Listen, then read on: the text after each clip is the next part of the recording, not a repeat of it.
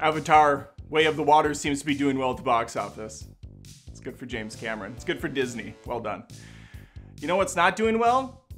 Babylon. To say the movie is bombing would be an understatement. Let's quickly talk about it and break down why we think this is. Writer director Damien Chazelle has done it again.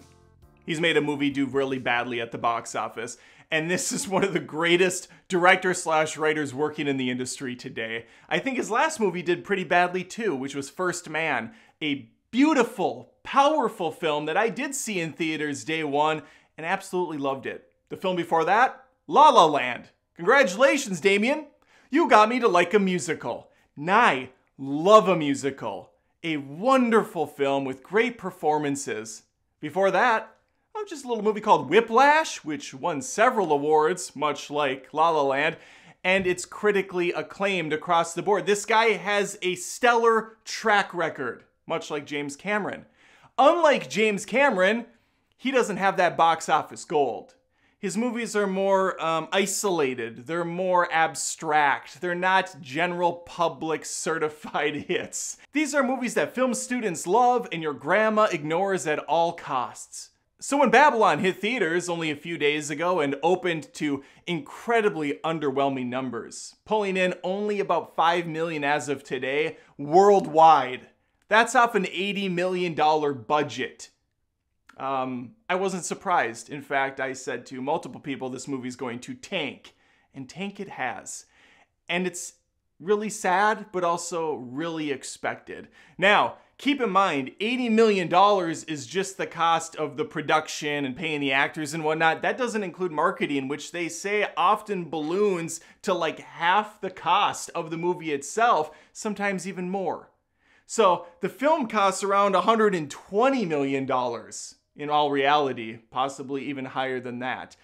5 million's not going to make up the difference. And by the time this thing gets out of theaters, it'll be lucky if it even scrapes by 10 to 15. It seems almost unheard of that a film starring Brad Pitt and Margot Robbie would do so poorly, but let's remember just a few months ago Amsterdam came out and did even worse with Christian Bale and again Margot Robbie and a handful of other big name celebrities. I didn't see either of them in theaters, and it's for basically one reason. Well, I guess two. In the case of Amsterdam, it just looked really bad. In the case of Babylon, I saw zero trailers on it, no marketing at all, and a three hour runtime. Three hours!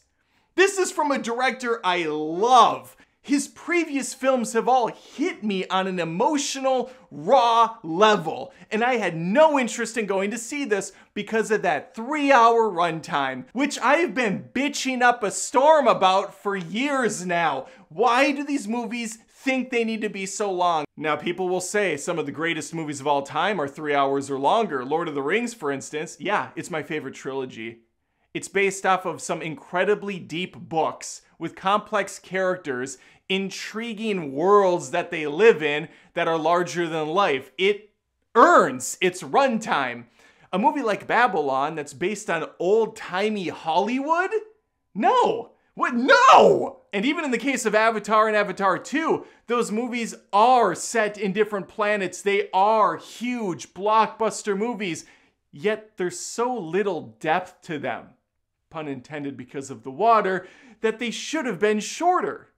This story doesn't justify the long ass narrative. Now, the runtime steered me away for sure. I don't think that that's the big factor for a lot of moviegoers. I think it's more or less the fact that the marketing was complete shit for this thing.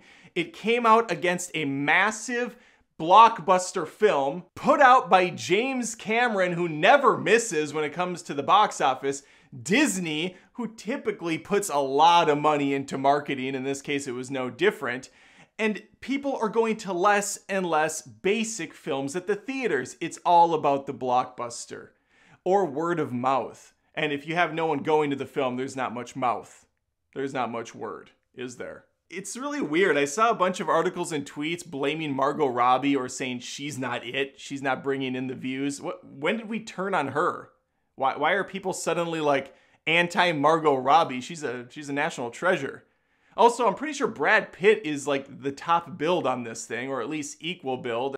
And I heard nothing about him being the problem, because neither of them are the problem. They're very lovable, likable people, as far as actors go. No, if we look back at the big winners, it's all tentpole, massive movies. Top Gun 2 Maverick, an established character, an established franchise based on nostalgia and the love of blockbuster Tom Cruise films. Avatar 2, a movie 12 to 13 years in the making that people have been very eager to get out and see, especially in the foreign markets where that is the bread and butter for Avatar. You got No Way Home, a massive tentpole Spider Man MCU film.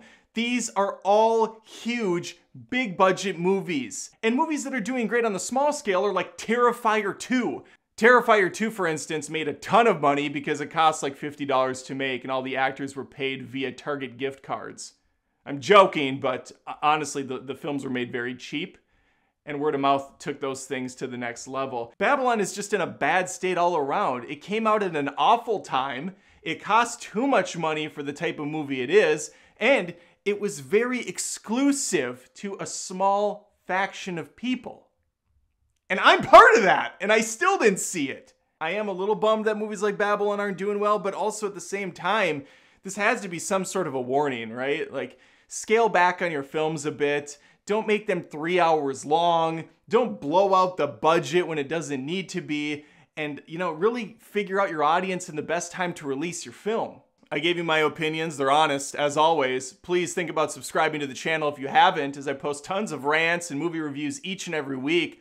Would love to have you stick around and let me know in the comments what you think happened here. Why is this a train wreck? Why did it bomb? Am I spot on? Or is there something else I'm not thinking about? Would love to hear from you. Please like the video if you had a good time. Share it around on your socials or with your friends via word of mouth. I'd appreciate it. And hopefully, I see you soon. And seriously, if you haven't seen this director's other works, highly recommend all of them. Whiplash, La La Land, First Man, all fantastic, all different, all great, all the time. And while you're doing that, maybe think about joining me on Patreon at patreon.com slash adamdoesmovies or become a YouTube join member right here via that join button. I had to overpronounce my T's because I got that Minnesota D in me. I, I just, that sounded sexual. Got that Minnesota D in me. Anyway, yeah, support the channel. I'd appreciate it. Thanks.